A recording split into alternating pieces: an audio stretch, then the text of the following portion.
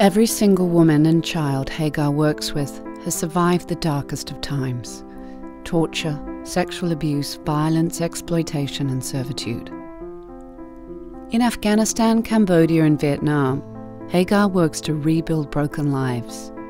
like Saray.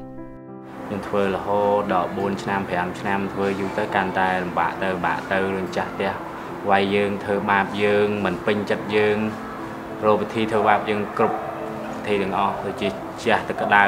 វាយនិយាយគ្រប់សពហ្មងធ្វើយើងពិបាកទ្រាំមែនទែនជិះដូចនៅឋាននិរោធអញ្ចឹងគឺថាទទួលក្រមការជិះជាន់របស់គេ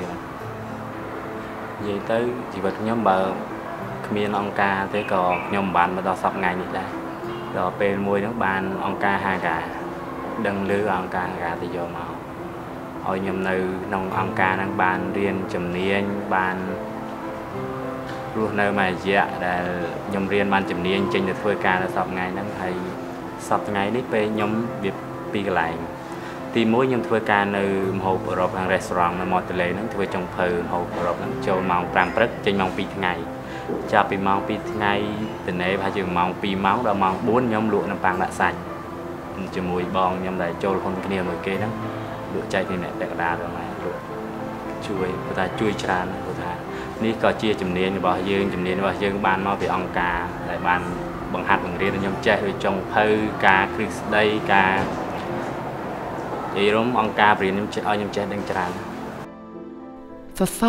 the price of one coffee a day, you could put a young survivor of human rights abuse through school, support a woman through trauma counselling, and allow us at Hagar to support a survivor for a year. At Hagar, we know that with your help, we can bring light to even the darkest of places. Please donate now.